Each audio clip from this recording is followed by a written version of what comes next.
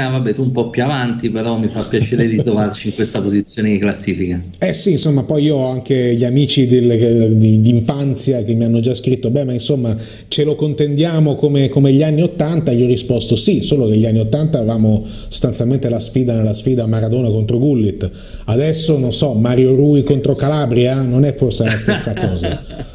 Vabbè, diciamo Ibrahimovic contro Mertens, va per rendere il tutto un po' più poetico. Eh certo, due giocatori che non giocano praticamente perché per vari motivi tra infortuni e, e, magari anche diciamo livello di anzianità, anche perché Mertens insomma ha superato i 30 da un pezzo o no? Eh sì, ha voglia, lui però è un pezzo di Napoli, considera che qua lo chiamiamo Ciro perché l'abbiamo proprio ribattezzato, eh certo.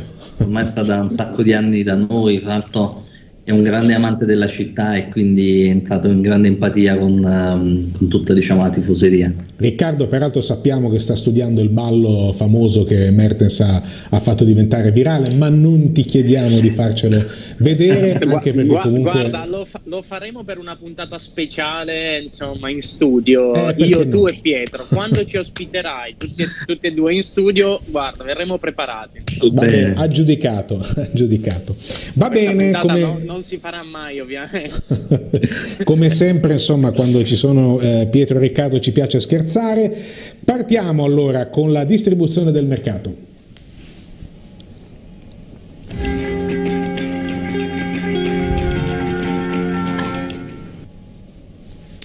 Una settimana all'insegna di nuovi acquisti e di nuovi massimi in più occasioni, anche per quanto riguarda il Fuzimil che ha superato insomma ieri i 27.000, lo sappiamo. E allora dal punto di vista dei certificati e la distribuzione, come è andata? Eh, Riccardo, a te la parola. Sì, allora ti devo confidare un, uh, un, piccolo segreto aneddoto. È la prima volta che vedo i 27.000 punti in vita mia.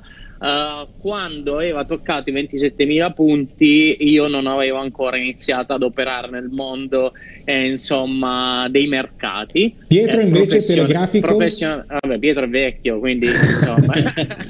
Che mettere questo dito nella piaga? Ha visto no. anche 40.000 ri, ri, ah, voglia no? Ho visto anche 50.000 in verità perché eh, il 2000 il 2008 è, è l'ultima volta che ho prezzato 27.000 io considero Giacomo ho iniziato, io sono nel 76, ho iniziato tipo a 20 anni dal, dai bozzini alle banche, quindi ne ho, viste, ne ho viste varie, però insomma fa piacere ritornare quasi, che sono, 16 anni indietro. 13 anni, 13 anni. 13 anni Riccardo, ti ho interrotto, perdonami. No, figurati, ci mancherebbe, insomma, è, be- è, bello, guarda, confrontare le varie generazioni di giovani un po' più anziani e gente un po' più anziana che opera sul mercato, almeno ci scambiamo qualche idea. Scherzi a parte, sai che comunque con Pietro scherziamo sempre. È stata una settimana importante, il mood degli, degli investitori comunque si conferma sempre positivo e rialzista, Giacomo eh, poi vediamo se Pietro vuole integrare o comunque vuole aggiungere qualcosa alle nostre analisi. I volumi eh, in termini di turnover sul Sedex sono sempre sostenuti, Giacomo. Abbiamo un volume medio che si attesta intorno agli 84 milioni di euro di turnover e questo volume, eh, insomma, così eh, in crescita o comunque così elevato eh, è dettato principalmente dalla presenza o dall'incremento di quelle che sono le negoziazioni sugli strumenti a leva. Eh, sia covered warrant, molto molto utilizzati in questi periodi in cui la volatilità fondamentalmente è tornata a fare la padrona, eh, sia strumenti a leva fissa che leva variabile.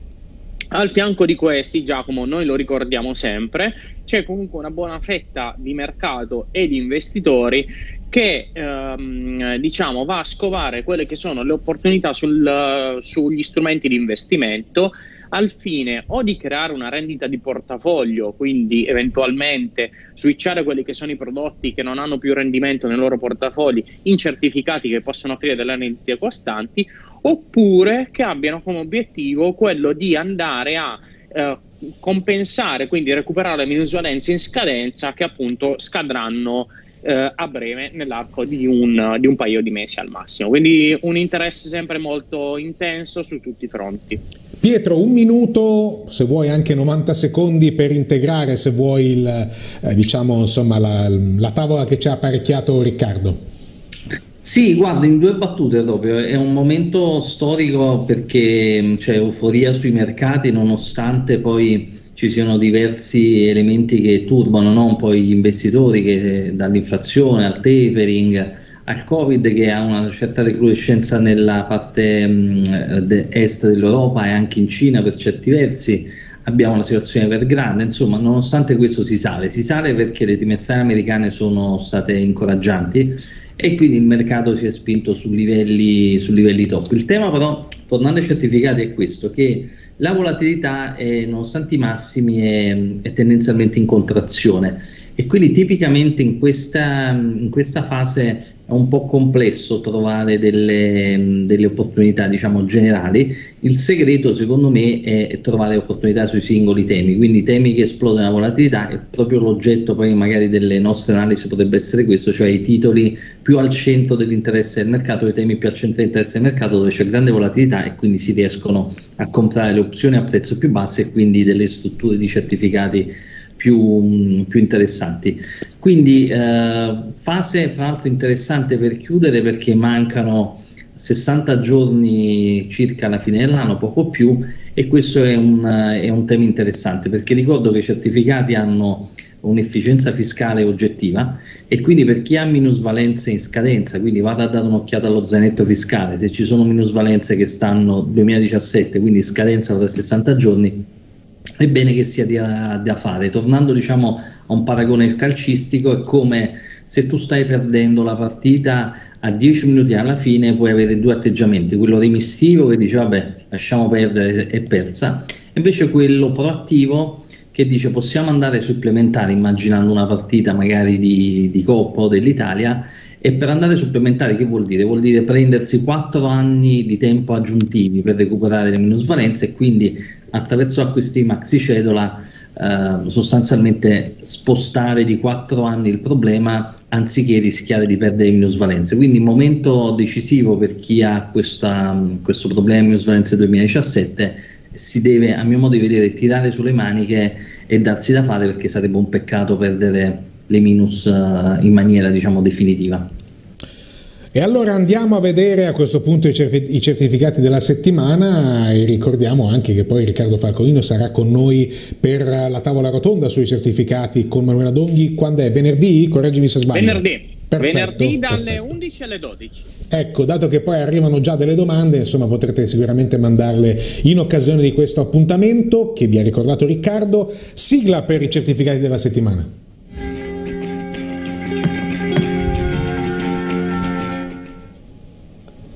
Un saluto anche ad Alberto che ci ha scritto anch'io, insomma, negli anni 2000 o a metà degli anni 2000 ho iniziato ad operare, ricordo quel periodo come se fosse ieri. Allora, Riccardo, partiamo dal cash collect worst of quanto autocollable? Sì, assolutamente sì. Guarda, hai detto il nome, sei partito dal nome che è abbastanza complesso, ma non è tale. Prodotto non è tale. Intanto ringrazio anche Pietro perché mi ha fatto un bel assist per introdurre questo, questo prodotto. Allora, eh, andiamo ad elencare le caratteristiche, poi vediamo come poterlo utilizzare. Partiamo eh, dall'ISIN, scusami. Dall'ISIN. Domodossola esatto, Empoli 000, H di Hotel, V di Verona 8, C di Como, Q di Quadro 6, 3. Riccardo. Benissimo, eccolo. È un cash collect. Quindi, come tutti i cash collect, Giacomo paga delle cedole. Worst off in quanto è scritto su un paniere, autocollable perché eh, l'emittente um, in determinate date di osservazione eh, può ritirare se si verificano delle condizioni, che poi andremo a, vedere, a verificare successivamente, può ritirare in anticipo il prodotto rispetto alla scadenza originaria. Perché un worst off? Perché è scritto su un panino di titoli, in questo caso i panini di titoli sono Orange, Telecom e Vodafone, quindi tutti appartenenti al settore delle telecomunicazioni. Tanto diamo un elemento interessante, si acquista a 97,45, quindi sotto la pari, sotto la parità, è un prodotto che è stato emesso di recente, in un periodo relativamente recente, luglio 2021, scade a maggio 2024, quindi la vita del prodotto in sé per sé terminerà a maggio 2024. È un prodotto comunque che è negoziabile sul mercato Sedex, quindi il cliente può vendere il certificato in qualsiasi momento lui abbia necessità di liquidare le posizioni o comunque la sua strategia sia arrivata appunto a compimento. Come funziona questo prodotto? Perché è interessante in questo momento? Il prodotto ehm, è stato studiato eh, in quanto con questa finalità, con la finalità di pagare una maxi cedola, un maxi coupon iniziale del valore di 10 euro. Quindi staccherà un 10% ogni 100 euro investiti. Ricordiamo che il nominale appunto in questo caso è di 100 euro. Che cosa succederà successivamente? Una volta staccato appunto la prima cedola, ricordiamo in questo caso le cedole sono delle cedole condizionate rispetto della barriera, una barriera posta al 70% del livello, del livello di fixing iniziale. Quindi se tutti i sottostanti alla data di osservazione saranno al di sopra del livello barriera, in questo caso il certificato pagherà la cedola. Nel caso contrario, la cedola non sarà pagata e il certificato non gode dell'effetto memoria, quindi questo è importante da ricordare. Giunti alla prima data di osservazione, che è novembre 2021, se i sottostanti saranno al di sopra del livello barriera, il certificato pagherà la cedola il valore di mercato si verrà decurtato di quello che è il valore della cedola, largo circa di 10 euro, poi dipenderà ovviamente anche dall'andamento dei titoli sottostanti e in questo caso il cliente, come diceva giustamente Pietro in precedenza quando parlava di questi, di, di questi prodotti, avrà due possibilità. Possibilità 1 incassa la cedola di 10 euro e vende il certificato. In questo modo protrarrà in avanti di 4 anni quelle che sono le minusvalenze ok? in portafoglio. Possibilità 2 invece, il cliente non è interessato alla vendita del certificato, ma lo tiene in portafoglio aspettando i trimestri successivi ed eventualmente eh, cercando di incassare anche le cedole dei trimestri successivi. Questo infatti è un prodotto Giacomo che pagherà eh, dopo la prima cedola pagherà un coupon trimestrale di 1,45 euro. Anche in questo caso sono cedole che non godono dell'effetto memoria e sono cedole condizionate, quindi vuol dire che saranno pagate solo a condizione, eh, sono a condizione in cui tutti i sottostanti saranno al di sopra del, del livello barriera. Altra cosa che dicevo prima, altra nota che dicevo prima è la possibilità di autocall anticipato, cioè il, l'emittente in questo caso ha definito un'opzione per questo strumento che permette allo stesso di essere richiamato in anticipo. Noi vediamo che appunto dalla schermata principale la vita ultima, quindi il termine della vita del prodotto è maggio 2024, ma ogni tre mesi, quindi ogni trimestre a partire da febbraio 2022, se tutti i sottostanti saranno al di sopra del loro valore di fixing iniziale, il certificato potrà essere richiamato dall'emittente al valore nominale, quindi a 100 e oltre pagare 100 pagherà anche il, il, coupon del mese in corso, quindi pagherà 100 più 1,45, quindi 101,45. E abbiamo spiegato un po' in generale come funziona il prodotto e quali può essere le finalità e le potenzialità di utilizzo all'interno di un portafoglio. Caro Pietro, intanto ricordiamo che il rischio di questo eh, prodotto è, eh, mi se non ho visto male, 5 su 7. Esatto, caro Pietro, un brevissimo commento su questo certificato e poi ne guardiamo anche uno eh, che insomma arriva dalla, eh, dalle tue insomma, di analisi. Prego.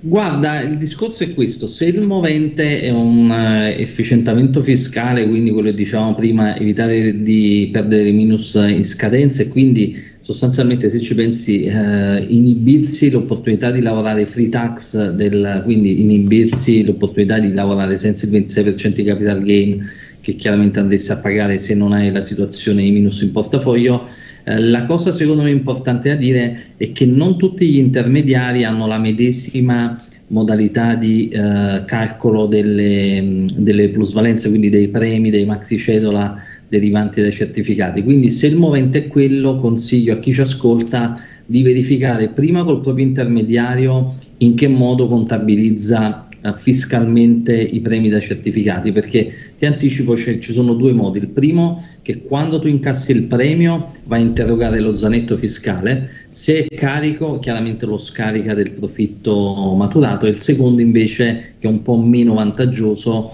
è quello di eh, come dire, crea- caricare il ratio sul prezzo medio di acquisto e quindi sostanzialmente riesce a fare questo efficientamento fiscale. Quindi in conclusione, se il movente è l'efficientamento fiscale e quindi incassare subito un premio per decurtare le minus 2017, consiglio di chiedere prima all'intermediario le modalità con le quali eh, fa questa operazione.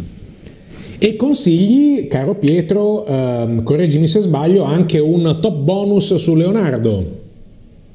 Sì, diciamo avevo in mente due, due, prodotti da proporvi oggi. Uno dei due è un top bonus su Leonardo che è una struttura abbastanza semplice. Possiamo iniziare insomma con un, con un prodotto che non ha uh, particolari criticità. Perché? Perché è sostanzialmente un prodotto che scommette, diciamo, immagina uno scenario nel quale Leonardo, dopo un periodo di, di difficoltà no, seguito alla vicenda che tutti noi insomma un po' ricordiamo della, della, disputa con Boeing circa un pezzo difettoso che in qualche modo ha portato delle, della, della, grande volatilità sul titolo, di fatto il titolo non sta beneficiando del clima positivo che c'è a Piazza Affari e su livelli piuttosto bassi e viene da una, da una, certa difficoltà. Allora qui il tema è questo, anziché andare direttamente sul sottostante eh, e quindi magari su Leonardo e seguire poi una logica binaria, se sale eh, si guadagna, se scende si perde, si può trovare una via di mezzo con questo prodotto che sostanzialmente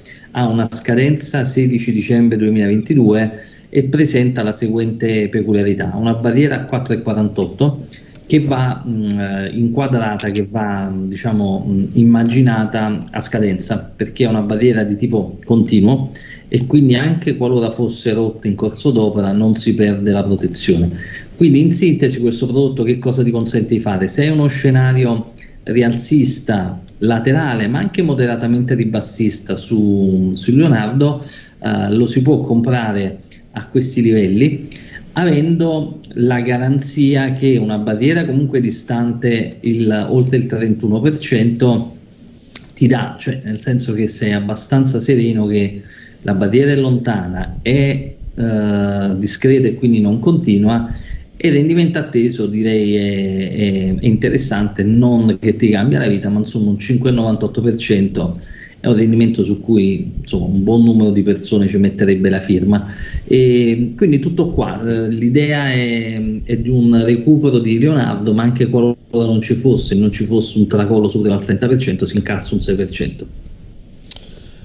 Con il Lysin, che non abbiamo ancora letto, chiedo scusa, eccoci qua, Domodossola Empoli 000, H di Hotel V di Verona 4, J di Juventus, ai noi caro Pietro, Q di Quadro, Z di Zara 1 e con il eh, indicatore di rischio 6 su un massimo di 7 punti. Questo per quanto riguarda l'offerta insomma, che ci eh, propone Pietro. Caro Riccardo, se vuoi aggiungere qualcosa eh, puoi farlo tranquillamente, altrimenti passiamo al secondo secondo tuo eh, certificato? Eh, no, aggiungo solo questo, è un prodotto interessante in quanto eh, presenta una barriera che viene osservata esclusivamente a scadenza. Quindi va a eliminare quello che è il rischio dell'osservazione di una barriera in continuo eh, e fondamentalmente è vero che i mercati, è vero che comunque abbiamo un, un, trend positivo e una view positiva, però non sappiamo mai che cosa può succedere. Quindi una barriera eh, osservata esclusivamente a scadenza che è distante 31% rispetto ai livelli attuali rende il prodotto sicuramente interessante. Quindi aggiungevo questo e quindi dico che è un, è un bel prodotto, è davvero un bel prodotto. Lo è anche il turbo open end su Eurostox che stai per, eh, diciamo così, presentarci? Vediamo, poi vediamo soprattutto che ne pensa Pietro, perché Pietro sì. con i prodotti di trading è un po' insomma avverso, ne sul parla e non ne parla. Ma, esatto, è un po' sul chi va là. E, ehm, allora, Turbo Open End su Eurostox, uh, su indice Eurostox 50, codice ISIN DE 000 HV4 K818. E allora, come funziona? Diamo un po' una spiegazione, una razio su questo prodotto, Giacomo. Questo, a differenza dei prodotti presentati fino ad ora, è un prodotto prettamente più speculativo o da trader. Eh, I prodotti presentati fino ad ora, quindi sia quello mio, il cash call, eh, quello di Pietro, il turbo, eh, scusami, il top bonus, erano dei prodotti di investimento che possono essere utilizzati anche in maniera più dinamica, ma nascono come prodotti di investimento. Questo turbo open end invece è classificato all'interno dei prodotti di trading in quanto va ad amplificare quella che è la performance del sottostante con un effetto leva. Quindi eh, da chi viene utilizzato il prodotto? Viene utilizzato fondamentalmente da chi ha una view chiara e rialzista sul sottostante e vuole andare a, eh, ad amplificare quella che è la performance del sottostante con una leva. Una leva in questo caso che è una leva variabile, in quanto, in quanto i turbo open end eh, eh, sono caratterizzati da una leva variabile che ad oggi si attesta a 6,92 volte e lo vediamo scritto nella parte in basso della, della paginetta. Una distanza dalla barriera, Giacomo, del 14%, quindi un livello discretamente accettabile eh, anche per delle posizioni che vogliono essere mantenute in multi-day. Infatti i turbo open end sono dei prodotti, insomma, ehm, consigliabili o utilizzabili per quelle posizioni eh, diciamo un po' più aggressive eh, in ottica non intraday ma multi-day proprio perché non risentono di quello che è l'effetto compounding che è tipico degli ETF ed è tipico anche dei prodotti a leva fissa. Come funziona il prodotto? Come funziona appunto questo strumento? Questo strumento diciamo che prevede ehm, alla creazione eh, la definizione di un livello strike eh, che è posto ad oggi a, tre, eh, a 3616 punti eh, che va a definire un vero e proprio stop loss raggiunto il quale la posizione viene chiusa in perdita e si perde quello che è il capitale investito. Ricordiamo solo e esclusivamente il capitale investito. Dal momento in cui però Giacomo questo è un prodotto a leva e dal momento in cui l'emittente eh, diciamo finanzia buona parte di quello che è il valore dello strumento viene pagato, viene calcolato un tasso di interesse annuo, in questo caso il costo del finanziamento del 3,44% circa, il quale costo del finanziamento andrà ad impattare quello che è il valore dello strike o stop loss, che oggi è impostato a 3.616 punti,32, ma domani sarà leggermente superiore.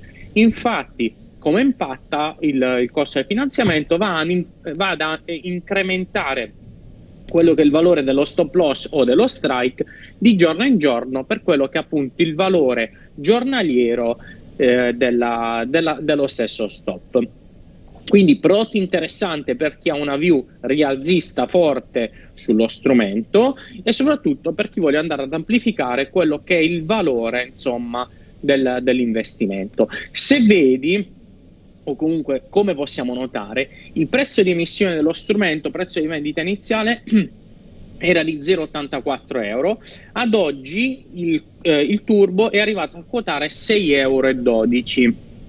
Insomma, questo va a delineare quello che è il fattore che va ad amplificare la performance del sottostante, insomma, quindi un vero e proprio prodotto di trading. Mica per niente il livello di rischio è 7 punti su 7 come già spiegava Riccardo. È questo che diciamo così ti mette sul chi va là, caro Pietro?